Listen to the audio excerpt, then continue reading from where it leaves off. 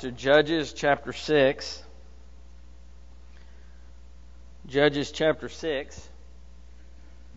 We're going to talk about a well known story again. We're going to look a little deeper into it. We're going to look at Gideon tonight. Um, you know, we begin in verses 1 through 5 there of Judges chapter 6, and, and we see the the devastation that was wrought upon the people because of the choices that they had made. In verse 1, it says, Then the sons of Israel did what was evil in the sight of the Lord. And the Lord gave them into the hands of Midian seven years. You know, this is pretty much the narrative for the entire book of Judges, is it not? You know, I love because the, the good times, the times of peace, the times where God's not punishing them for their choices to, to serve idols, um, are usually summed up in like one verse. And they had 40 years of peace. And then it goes right back to, and they did what was right in their own eyes. And there was no king in the land. And they played harlot with, with uh, Baal. You know, whatever phrasing it would use, it would indicate unfaithfulness. But you know, the oppression of the Midianites pretty much drove the Israelites, this oppression that he's talking about here, pretty much drove the Israelites completely into hiding. You know, in verses 3 through 5, we see that the Midianites and the Amalekites came when the crops of Israel were ready to harvest. The oppression was less like I always thought about, you know, an occupying army occupying the cities coming in. You know, they're, they're controlling the city. That's really not what's going on here. Midian, uh, the Midianites are not occupying the cities of Israel. It's more on the lines of a raiding force. They, in other words, they come into the area and they just simply raid and take everything that they can get their hands on. They don't really care about occupying, they don't really care about controlling the land, so to speak. Their primary interest is simply to rob the land of everything that it has. You know, they would come up to Israel and set up a camp during the time of harvest, and they would just sit there and raid the fields. You know, the Israelites have planted, they have tended to the crops, and, and right as they're ready to harvest them, here comes the Midianites and the Amalekites, and they take all the food. And that's what's happening. And that's what's been going on now for, for seven years. All your labor and all your toil and all your work, and it's getting stolen from you right when you're ready to harvest it. And not only that, but they're also taking the livestock that the Israelites have as well.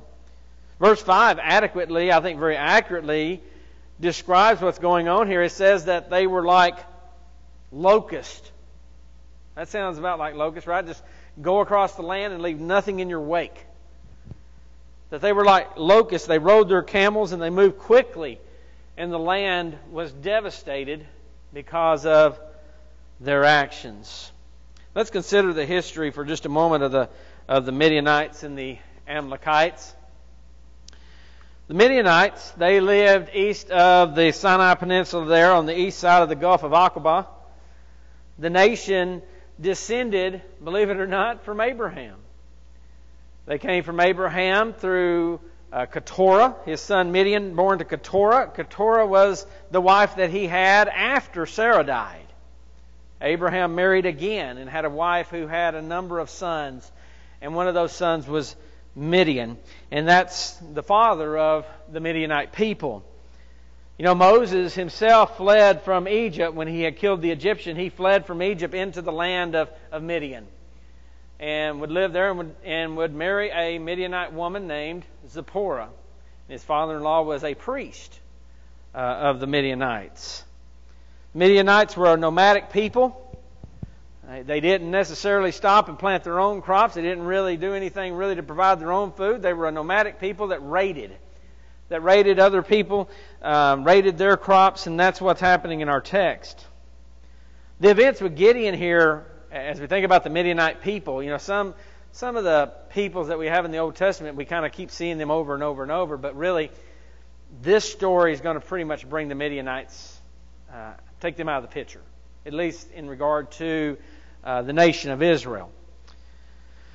The other group that's with them, and we, we don't often mention them as well, but they are with them. We, we always talk about the Midianites with Gideon, but there were also the Amalekites that were with them. They are descendants of Esau. They wandered the Sinai and the wilderness of southern Israel, as you can see on the map. Uh, and we see them uh, in that very area uh, during the Exodus. While the Israelites are still very near to Mount Sinai, they are out there picking off the stragglers, so to speak, the, slow, the people that were a little bit slow, kind of drifting back back there by themselves. The Amalekites were coming in and raiding them, uh, not not hitting the main body of the Israelite people, but these people that were kind of straggling. And, and that led to a battle that we talked about with Joshua a couple of weeks ago. That Joshua led the battle against the Amalekites because of that. And that was the battle where Moses held up his staff. And based on where his staff was, that's how the battle uh, progressed, whether good or bad, for the Israelites. Well, God determined at that time that because of what the Amalekites did, because of the unprovoked nature of their attacks, that He said they were that they were going to be a people that would be completely and totally annihilated. They were to be totally destroyed. And we can go forward in time, in fact, forward even from the time that we're talking about tonight, and we can see God tell King Saul, right? I want you to go to the Amalekites, and I want you to kill everything that breathes man, woman, child, animal. All of it. God says, I want you to annihilate them. And we know that Saul went on this mission, right, to do this, but he didn't quite get it done, did he?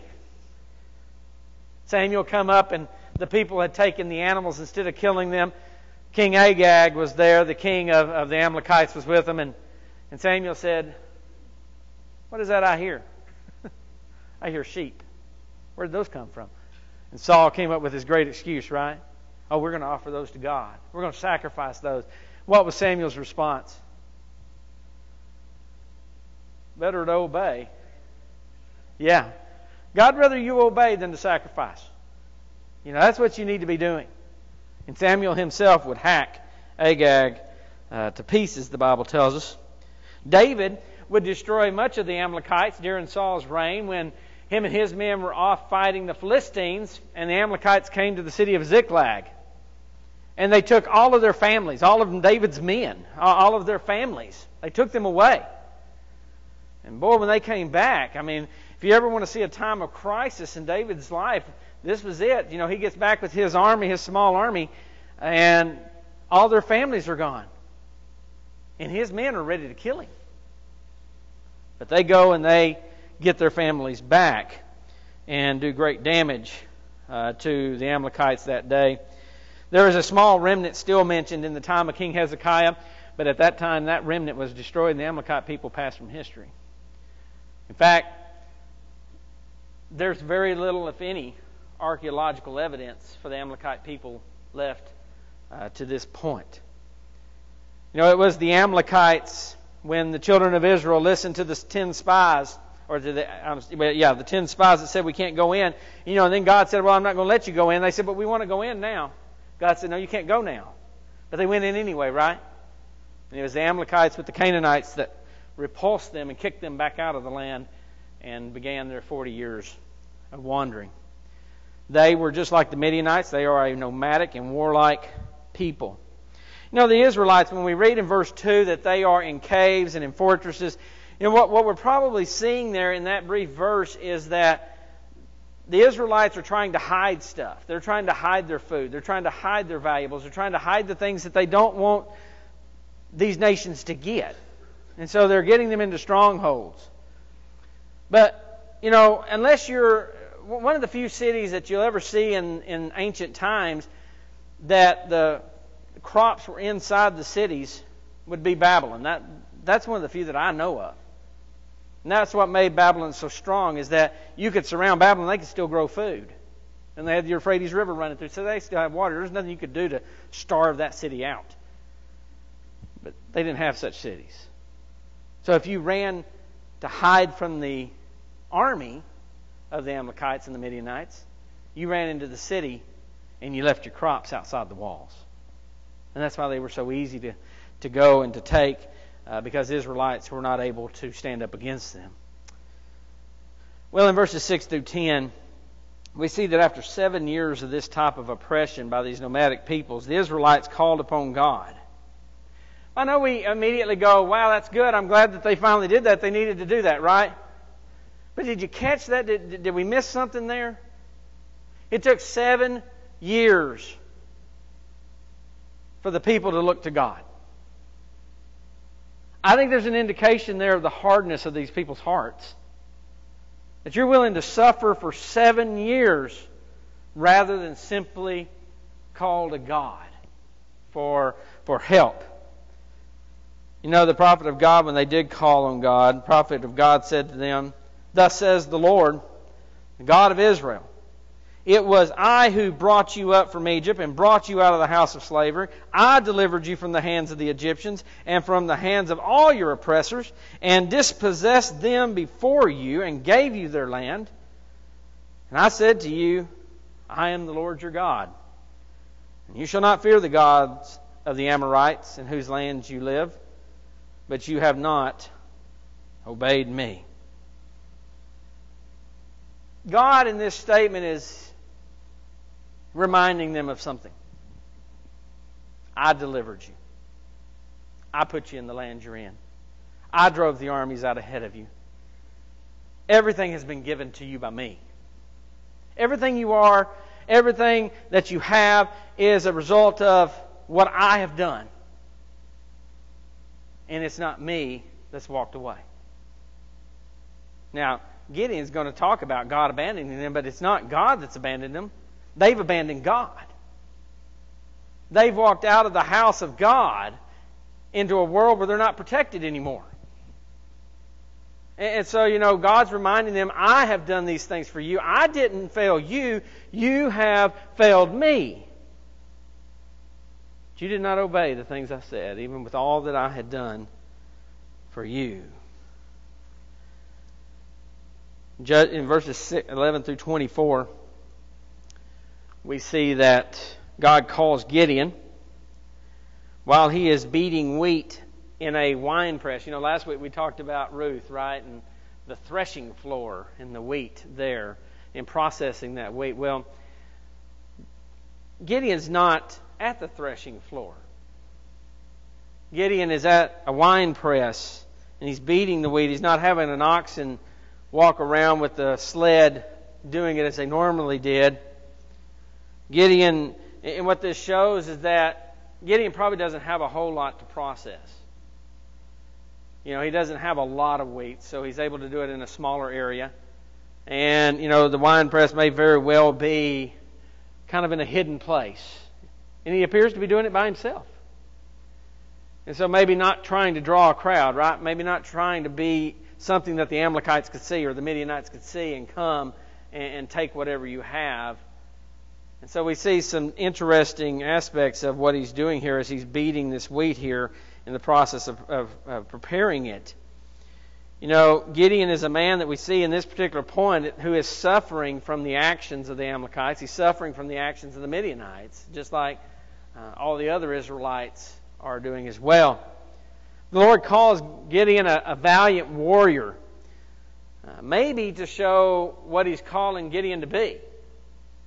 Maybe Gideon, we don't really know, but maybe Gideon was a great warrior in some point in the past, and, and God is making reference to what he already has been, but um, I think it's more on line of God's calling him to be a valiant warrior. Because what he's going to ask him to do as far as fighting is pretty impressive. And it's, it's, it's a lot to ask. Uh, in verse 13, Gideon basically tells the angel that God has has not been with the people. He goes, You're asking me to do this, but God's not with us. You haven't been with us. You, you've left us. He's, you know, he says, Look around at what's happened to us and to the land. He states, The Lord has abandoned us. That's how he feels. You know, you're, you're coming to me, but I have no reason to believe that God is in this land anymore. And, and so I think that gives us an idea of the level of distress that even a man that had a you know a character that would do as God says that the level of distress that he's in. You can imagine what an ungodly person uh, thinks in regard to this. God ignores those statements. You know, they are true to an extent that God has abandoned the people to their sinful ways. And yet, that's exactly what we see in Romans chapter 1, too, uh, also, right? That God talked about those that chose to not retain God in their knowledge any longer. They chose to worship the created rather than the Creator who's blessed forever. And then he talks about the sins that come out of that kind of a choice. And he makes those statements where God turned them over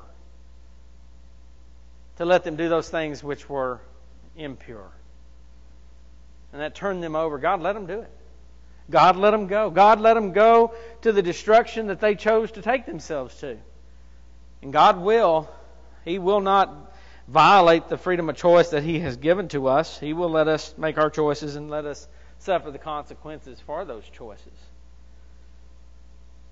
Like Moses, in this particular exchange with the angel of the Lord, Gideon makes excuses. Makes excuses for why he's not the best man for the job. And it is here at the very beginning that Gideon is, is seen as, I don't think we should see Gideon yet as a, as a man of great faith. I mean, certainly we're going to see him in Hebrews 11.32 mentioned. But here early on, we're going to see that he has a little ways to go in finding the faith and the trust in God that is, is something that would be worthy of being mentioned with the people that are mentioned in Hebrews uh, chapter 11. He is going to require a lot of goading by God to get him to do what God wants him to ultimately do. Now, we have to say that he is a man willing to obey God, but there is a degree to which he is not trusting God on the level that he's going to need to. He needs, you know, he, he struggles unless he's given some kind of assurance. He struggles to stay with God.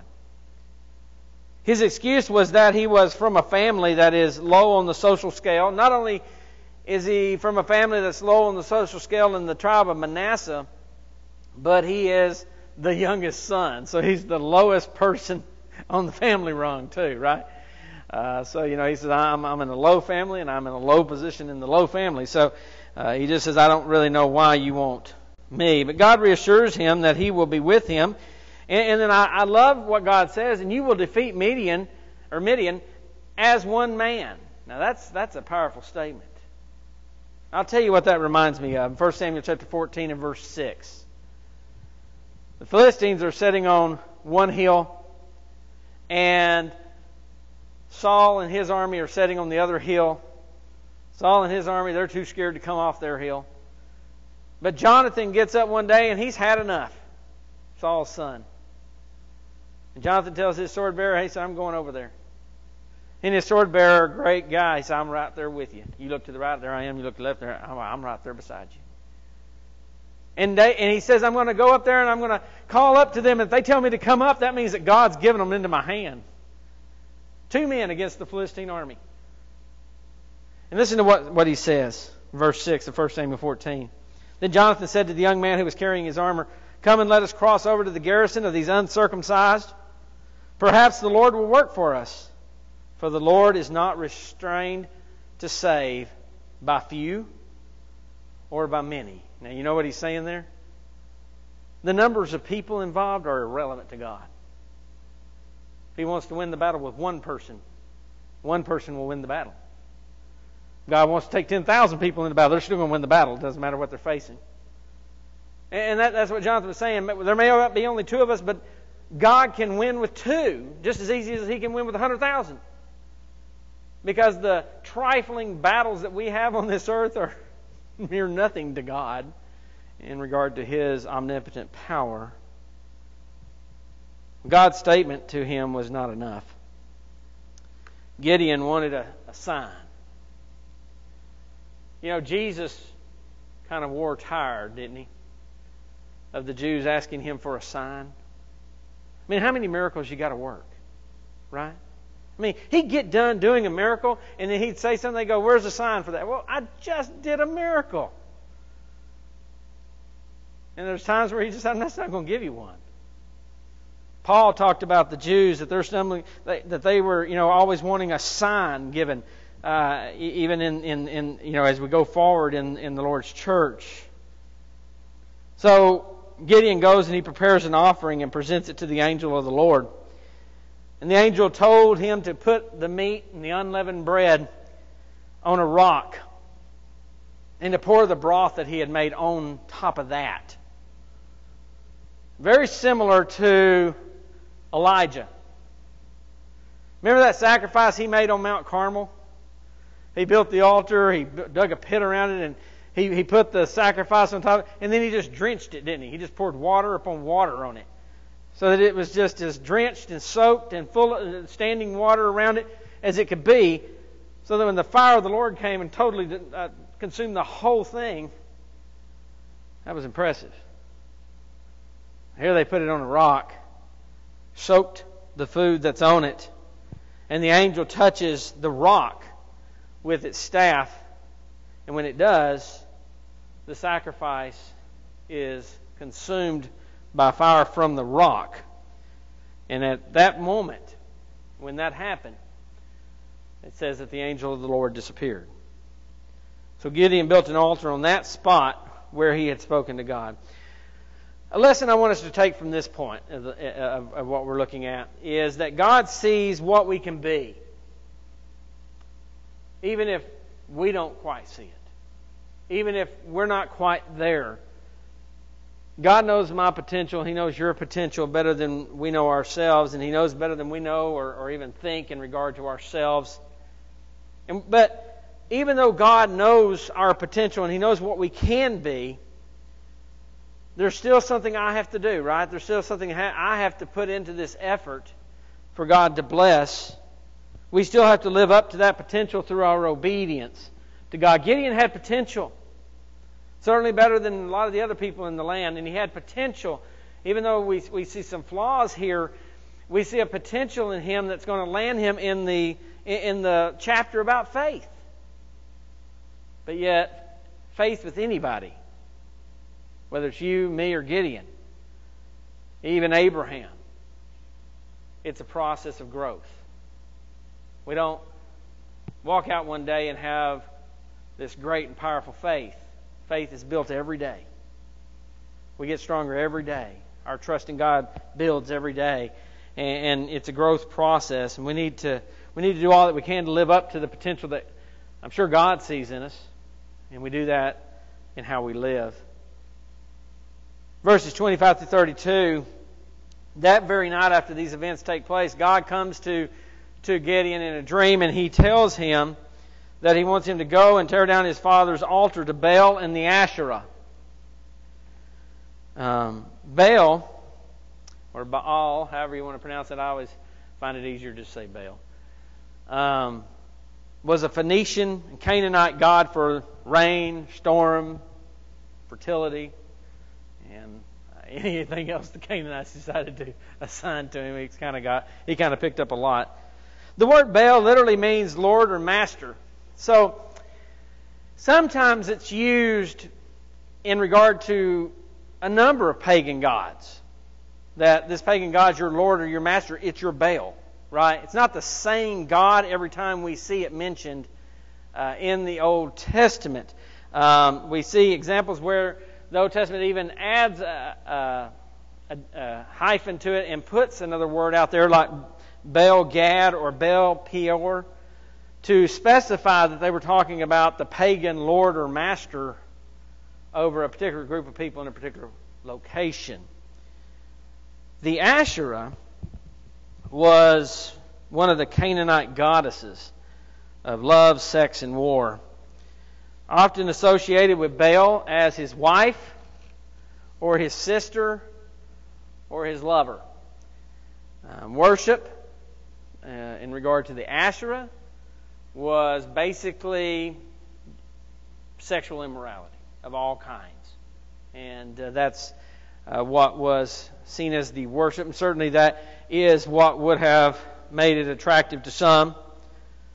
The Asherah would be a wooden post Or it might be a grove of trees. We see it in various ways in the Old Testament, but they would make this wooden post where these acts, these immoral acts would take place, or they'd make a grove of trees, and the people would go into the grove of trees and, and, and do these things that they would call worship to this pagan goddess.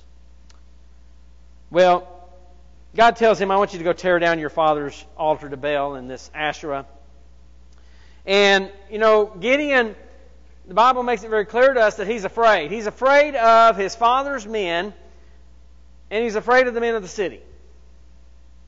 Now, here, here's where it, here's where I'm telling you that there's obedience here, but there's still some trust issues uh, with with what God can do for him. I mean, it's not like you know, yeah, like David when he went out to face Goliath. Yeah, I can whoop him.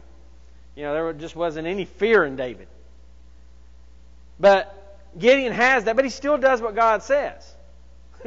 He takes 10 men, he goes in the middle of the night. you know, I'll do it when nobody's looking. I don't want to have to fight him while I do it. Um, and he, he pulls he pulls down uh, that that altar and uh, destroys that Asherah there in the middle of the night. And then he took the wood from that Asherah and he offered a sacrifice to God using that wood. Well, really, this action that God has Gideon do here, it's symbolic for the people of that time. The people needed to remove the Baals in their life, the idols in their life, so that they could get God's blessings. And so, you know, it's a message to the people.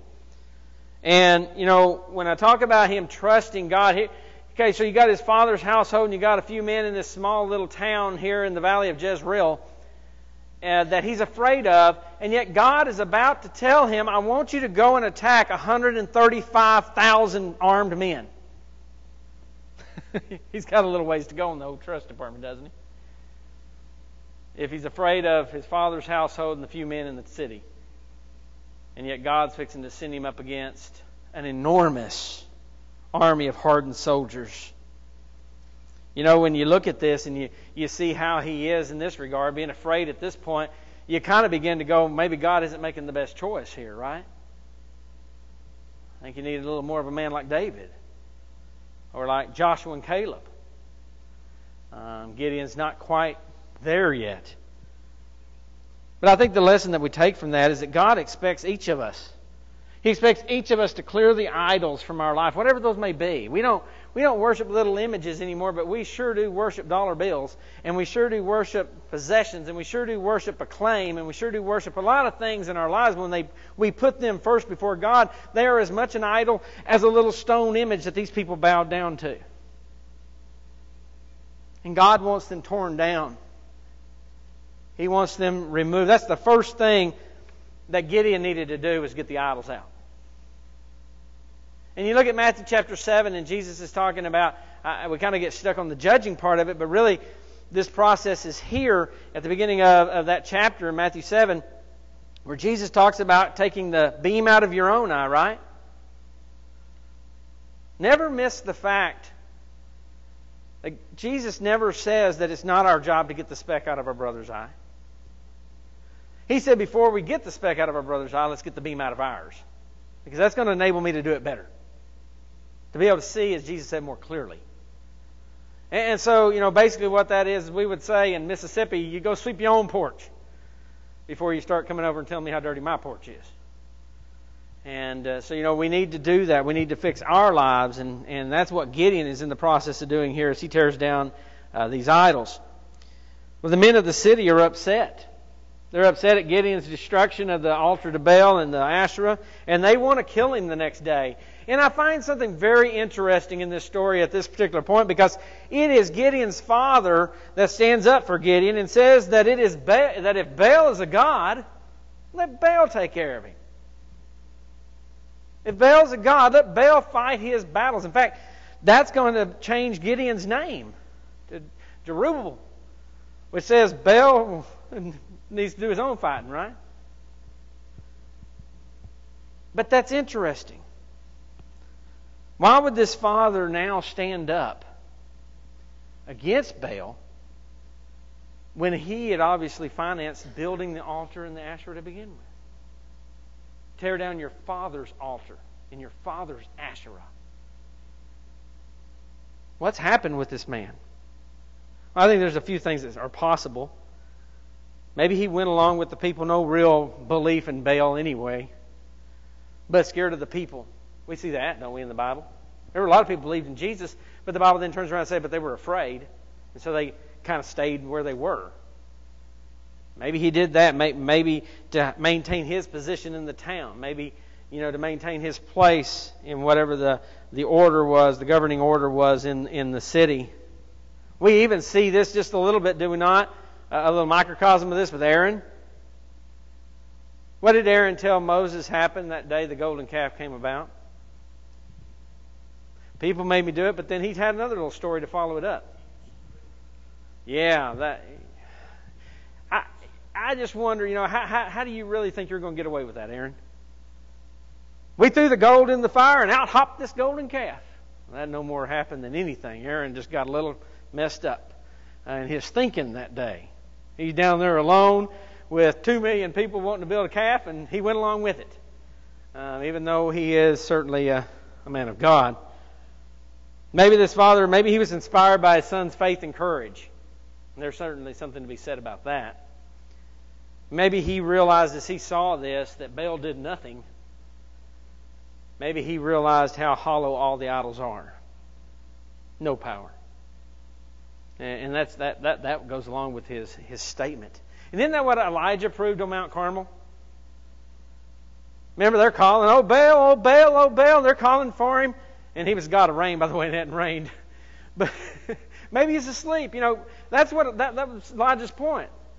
Why isn't he answering? What, why isn't he doing anything? And then God does something. And, and it makes a clear distinction. I think a lesson we draw here is that it is easy to just go along with the world. And sometimes even easy to go along with the things that oppose God. I'm not talking about necessarily committing them, but just going along with them. You don't have to commit them, just approve of them or just even ignore them. You know, Romans 1 talks about that it's not just those that commit those things, but those that give their approval to those things as well. Jesus stated that a person is either for with him or against him in Luke chapter 11 and verse 23. And apathy or ignoring wrong will never qualify as being with Jesus. And so, if that is the case with this father, we can't just go along because we'll be just as guilty. Yeah, I, actually, I forgot to put that one on the end. Thank you. Um, and there's always the the one other option on on this is that they're trying to kill his son. Right now, that changes people in a lot of ways. So yes, I think that's a very plausible one as well. I thought I had that down, but I completely forgot about it. Thank you, Jerry. In verses 33 through 35, we see that. Uh, the Midianites and the Amalekites assemble on the east side of the Jordan River, and then they cross over and camped in the valley of Jezreel. And the valley of Jezreel is that long stretch of valley, a few valleys uh, going off of it, but it, it's the main area right there through the middle of, of Israel, between the Galilee area and the Judean hill country. You know, the valley of Jezreel, it is the breadbasket uh, of Israel. You can see in this picture of the, of the valley today that it is a flat, long expanse of, of fertile land. Uh, many Old Testament stories take place in this area, especially stories involving the, uh, the northern kingdom of the divided kingdom times. It is in the valley of Jezreel, off there in the distance between those two hills there that you see in the distance, um, where Saul's sons die in that final battle. That hill on the right, Mount Gilboa, is where Saul himself would die. Naboth's vineyards out there, when Ahab, or Jezebel rather, killed him for the vineyard. That picture looks like it's being taken just above the city of Nain, which you see right there in the bottom right corner. A little bit back behind that is Megiddo, uh, which we know better by the way people have changed it to Armageddon today.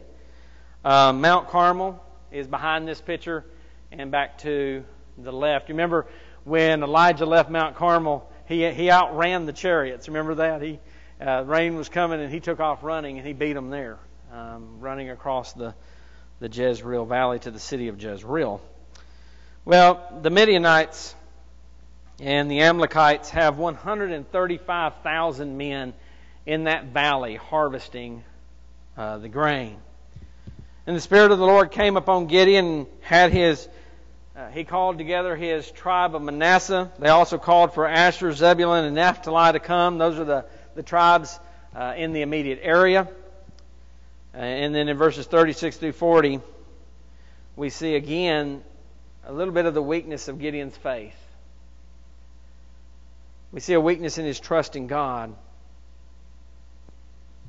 He actually asked God for another sign. Yeah, you just you just keep asking, and God does it. He says, I, am gonna, I'm at, the, he's at the threshing floor. He says, I'm going to put a piece of fleece down, this material. I'm going to put it down on the ground, and, and, and overnight, I want you to put dew on the fleece, but not on the ground around it. And we're at the threshing floor, right? So this is an area that's supposed to be dry so that you can sift the wheat. You can't sift wet, wet wheat. Um, and so this is a very dry area. It's going to be very easy to tell whether it's got moisture in it or not come the next morning. So the next morning comes and, and he picks up the, the piece of fabric that was on the ground and it's soaked and the ground is completely bone dry around it. And it says that he squeezes out the flax and and it, or the fleece rather, and it fills an entire bowl full of water. We're not talking about damp here, we're talking about soaking wet. Ah, that'd be enough for me. I don't know about y'all. But he actually goes, Well, I got another test for you, God. don't be angry. I mean, he understands he's pushing it, right? Like Abraham said, you know, just one more time. He knows he's pushing it, and he says, Okay, let's switch it. I put the fleece down, let it be dry, and the ground wet. And that's exactly what happens uh, the next day. You know, it's a dangerous thing to test God. Isn't that what Jesus said when the devil wanted him to jump off the temple because it said that the angels would come and keep him from hitting the ground? And, and, and yet, there's no reason to believe that's not exactly what would happen, but Jesus isn't going to jump off just to test God. Jesus knows God would do exactly what he says he'll do. He doesn't have to test him to decide whether God's trustworthy or not. He says, don't test the Lord your God. And so, you know, it's not, it's kind of a dangerous thing that, that Gideon's kind of doing here. And the lesson we draw from that is God is patient with us. And thankfully so, even when we're testing Him. But that patience will not be forever. There is an end to it. Chapter 7, verses 1 through 8. Gideon assembles an army about six miles from the Midianites. There are 32,000 men that comes together. You know, even at that kind of number, and we think that's a pretty good sized army, but even at that number, it's still going to take quite a bit of faith to go up against 135,000, isn't it? I mean, it's not exactly like he's got a great, huge army. Uh, he's got that proverbial military desire of three to one. He doesn't have that for an attacking army. In fact, he's he's outnumbered at this point four to one and in an army that is already in place. So he asks the question. God says, That's too many. Don't you, don't you know as a general? He's going, What? Does a general ever have too many men? I, I don't think any general goes, I got too many. Take some of my men away. Um, because you got too many men. And so he goes out there and he goes, Who's afraid? Who's trembling? he said, If you're afraid or trembling, you're going home. And 22,000 men walk away. So now you're down to 10,000 against 135,000. That's still long odds. And God says, You got too many. Have them go down there and drink out of the, out of the, out of the springs. And if they go down there and they, they get the water in their hand, they bring it up to their mouth, those are the ones you keep. But if they go down there and they just get on their hands and knees and they put their you know, tongue down in the water like a cow or some animal does and lick the water straight into their mouth, he says, you let them go home. That brings us all the way down to 300. We know, we know that number well. Well, it took all day to bring that number from 32,000 down to 300. and now they're fixing to fight all night uh, because the battle's going to happen almost immediately. Like Jericho, when you take it down to that kind of number, God is making it clear to you that it's Him that's going to give you the victory. You're not going to walk away from this and go, boy, it was our great military savvy that got that done. There's no military savvy that 300 people stop 100, you know, defeat 132,000. In verses 9 through 14, God tells Gideon, go down and attack the Midianites. And I love God here because God just decides to get out ahead of it. Get out ahead of, of, of uh, Gideon's doubts, get out ahead of Gideon's fears, his lack of his failure in trusting. He says, and if you're afraid, God just goes ahead and just gives him something. He goes, and if you're afraid, here's what I want you to do. I want you to take your servant, and I want you to go down to the camp of the Midianites. Get close. I want you to listen. I want you to listen to what they're talking about there in the camp, and then you'll be all right. You know, I guess we would have been impressed had Gideon went, that's not necessary. But he didn't. He took his little servant and he went down because, well, he was afraid.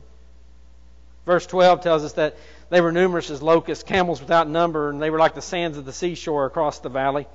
But in verses 13 through 14, this is what it says. When Gideon came, behold, a man was relating a dream. Now, this is a man over in the Midianite camp, relating a dream to his friend. And he said, Behold, I, I had a dream. A, a loaf of barley bread was tumbling into the camp of Midian, and it came to the tent and struck it so that it fell and turned it upside down so the tent lay flat.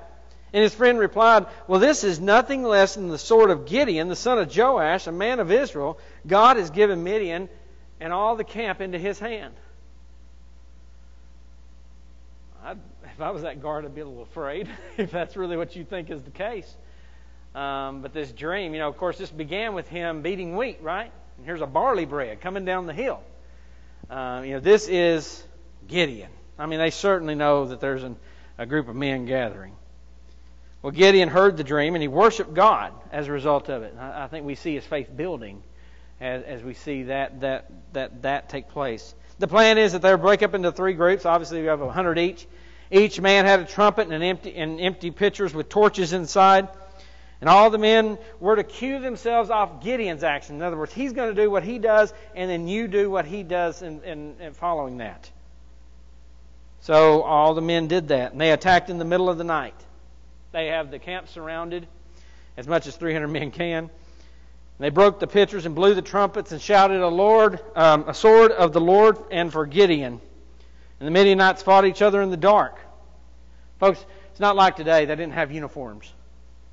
I mean, they're just out there in their clothes, whatever clothes they wore. They they didn't have uniforms in these days and times. So in the dark, everybody kind of looks like the same person uh, you know, same group. You could be in amongst them, and they, they wouldn't necessarily know whether you're friend or foe.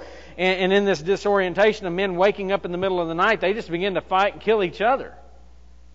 I remember when Miranda was young, and she was premature, and, and when we brought her home, she was on this, this heart monitor.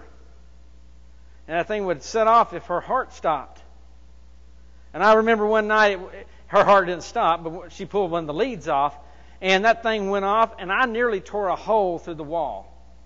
Because I came out of the bed so fast, I went through furniture, I went through chairs, the door was shut, I hit it. I mean, you know, I just, it just, I was just so disoriented that there was no cognitive uh, thought as to where everything was. I just was trying to tear my way into the other room, and and uh, so I think that's kind of what we see here. You know, you kind of get woke up in a in a rush, and you're just oriented, and you're kind of just doing whatever uh, you're swinging your sword, I guess, in this particular case, wherever. Also says the Lord caused this, so you know the Lord had His hand in on the confusion as well, uh, aside from just natural confusion of when you wake up suddenly. Um, well, they rout them, they pursue the enemy, and we see uh, their their pursuit route there, and they they caught they summon the other tribes to come in to help in the pursuit. They ask Ephraim to come down and to take all the river crossings on the River Jordan. And Ephraim does that, and as a result of that, they capture two of the leaders of the Midianites and, and do a lot of damage to the army that's trying now to escape back the way that it came. But the Ephraimites are upset. They're like, hey, why weren't we included in this when this all started? You know, they're thinking about loot. And uh, Gideon's a sly guy. He plays to their vanity. He goes, Well, he said, Y'all are so great, there's nothing we could do. They ever compare to the Ephraimites. You know, that's basically what he tells them. And, they, and he goes, Well, then they were a little bit happier. You know, you know just massage those egos just a little bit. Uh, and the Ephraimites are better. Well, they come to, if you look on down here at the bottom of the map, so they've gone a long way to two cities, Succoth and Penuel. And they come to those cities, and they asked both of those cities for supplies. These are Israelite cities. We're pursuing them. We've been pursuing them all night. We need some bread. We need some water. We need some supplies. And here's what both cities said Have you captured their two kings yet? No, I don't think so. Because what they're thinking is if you don't capture their two kings, they're going to come back and punish us for helping you, right? Well, he tells Sukkoth, he says, When I come back, I'm going to take your men and I'm going to whip them with thorn bushes. And then he tells Penuel, he says, I'm going to come back and tear down your tower and punish you for what you've done when I've captured those kings. So Gideon pursues the kings and the last of the 15,000 men that were left. So at this point, folks, 120,000 men have fallen in battle.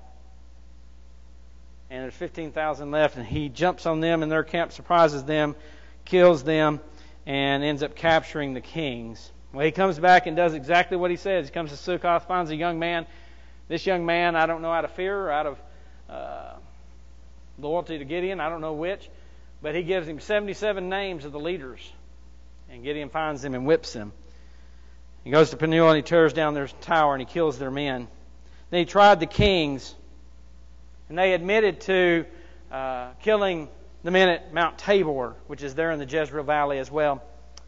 And, you know, it's kind of interesting because the kings were, he told his son to kill him, and his son was young and he was timid and, and he, and he kind of hesitated. And, and the king seemed to say to Gideon, Why don't you do it yourself?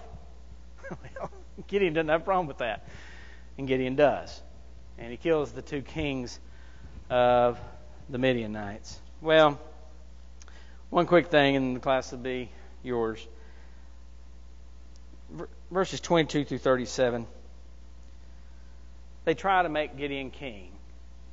Oh, they just want a king so bad, like the nations around them, don't they? Gideon says no, but I want you to listen to what Gideon says because this goes with what we talked about last week about there being no king in the land. He says to them, No, the Lord will rule over you. There's the king. That's the that's why we see that phrase so many times. And then you get that you get that single verse. Everything was good for 40 years, and that's it. Okay, we got that, that, that comprises all the good. And then this is what it says in verses 33 through 35 to bring us full circle. Then it came about as soon as Gideon was dead that the sons of Israel again played the harlot with the Baals and made Baal Berith their God. Thus the sons of Israel did not remember the Lord their God, who had delivered them from the hands of all their enemies on every side, nor did they show kindness to the house of Jerubbaal, which is Gideon, in accord with all the good that he had done to Israel. They never learn. They never learn. And they turn right back and go away from God. How many times does God bless us? And we're so thankful when we get those blessings and then we forget about Him. Uh, may we never be those people. God gives victory by His power, but He still requires our faith, our trust, our thankfulness, and our devotion to Him and Him alone as a result of all that He's done. He expects our obedience. Let's end our class now with a word of prayer. Heavenly Father, we thank you for this time that we've had. We thank you for the study of your word and for these stories that you have given to us from in the Old Testament for us to look and to see your interaction with man and what you expect of us. These great examples of of people that live faithful, people that did not. And Father, we pray that we are always those people that live faithful to you, those people that always understand that we have a king, and you are our king, and we'll always be that. Father, we pray that you go with us now, and that you strengthen us, and that you bless us as you always have, and bring us back uh, the next time we come together as your family. We pray these things in Christ's name. Amen.